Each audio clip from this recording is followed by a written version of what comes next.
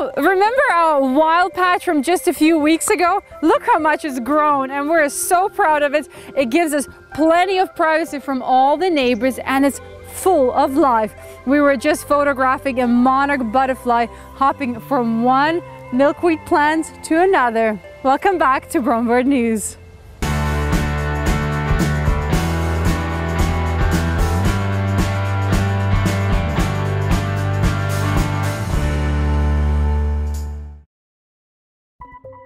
Originally, we were planning on talking about something else on backyard feeding, but as we were filming the episode, we noticed goldfinches collecting nesting material. And then I just remembered, of course, it's already July, and normally when thistle plants start producing this fluff right here, is when goldfinches start breeding. So we have plenty of thistle plants in our wild patches, so I don't actually have to worry about my goldfinches.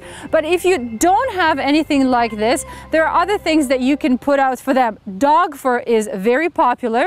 We used to put a lot of dog fur out. Unfortunately, we've just lost our dog. He was our biggest contributor to nesting materials.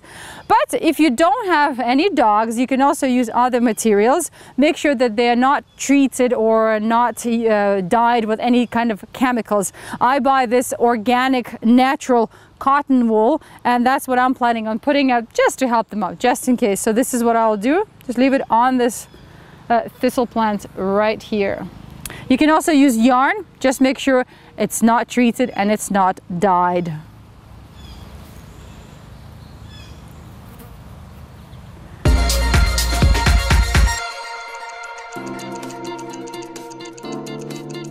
Every summer we try to spend as much time as possible in our backyard. And I was just talking to my husband how we used to use a lot of bug spray before we were feeding birds, but not anymore. With all the bird feeders, bird houses, bird baths and native plants, we don't really have to worry about insect control. Birds take care of that. Did you know that every year birds eat up to 550 million tons of insects?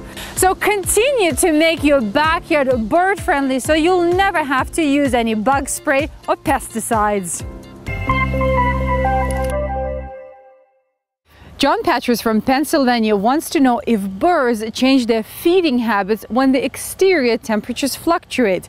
He noticed when they were going through a heat wave, birds stopped visiting his bird feeders. When the temperatures returned to normal, so did the birds. Hi, John. Great to hear from you again. You always ask such interesting questions. This one's a relatively easy one. You said you've been using the same feed mixture in your window feeder and it's generally emptied within a 24 hour period by your backyard birds.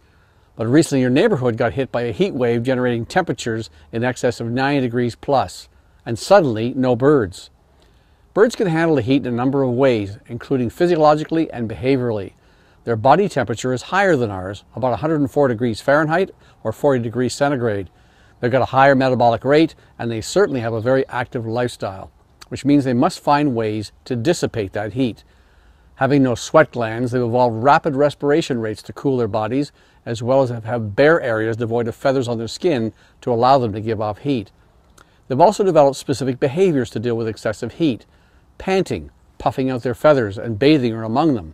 But the behaviors that affected your feeder have to do with reducing their activity levels during the hottest hours and being more active when the sun is lower and the air cooler. But that does not completely answer your question because you said that your seeds were barely disturbed during that hot spell. So that leaves one more behavior to react to very hot temperatures, seeking shade. What your birds likely did during that heat wave was to retreat to the coolness of the forest, putting as much vegetation between them and the sun as possible. And by staying relatively inactive, they didn't require the energy provided by your seed nearly as much. Here in Quebec, a common ravens are considered to be northern birds because they prefer to live and breed further north of us. But according to researchers, the ravens are actually comfortable living just about anywhere. So what's the problem? Why are we not seeing more of them in our area? So it turns out that their cousins, the crows, are real jerks. They don't like ravens, so they harass them continuously. They raid their nest and steal their eggs, forcing ravens to move away, far away actually from crows. And even though one crow is no match for a raven, when you get a big group of crows, it can mean murder. So if you have a lot of crows in your area, you probably won't see a single raven. A Polish research firm that was tracking white storks was shocked to receive a phone bill for $2,700. They had been using a tracker equipped with a SIM card to track white storks' 7,000 mile round trip from Poland to Africa and back. When Kajtek the stork arrived in Sudan, all of a sudden it stopped transmitting, so the researchers assumed that the bird had died. But two weeks later, the tracker started transmitting again and shortly afterwards the researchers received that outrageous bill. It turns out that someone found the tracker, removed the SIM card, put it in their phone and started making all sorts of phone calls. The phone company is not giving researchers any slack, so they have to pay the bill. At the end of June, I was in Rhode Island and I was absolutely smitten with their history and the beauty of their coastline. So I was not at all surprised to learn that this month Rhode Island was the first state to sue oil companies for their impact on the environment and the effects of climate change. With over 400 miles of coastline, Rhode Island is at great risk because of rising ocean levels and severe weather. Even though Rhode Island was the first state to sue the oil companies, there are a number of counties and cities that are attempting to do exactly the same thing. Of course, all the oil companies are denying everything and they're doing their best to push all the cases to federal court where they stand a better chance of being dismissed. This tactic has been used before, but Rhode Island is urging all the states to stand up and make a change because of the White House full of climate change deniers, none of the states will ever receive any help from the federal government.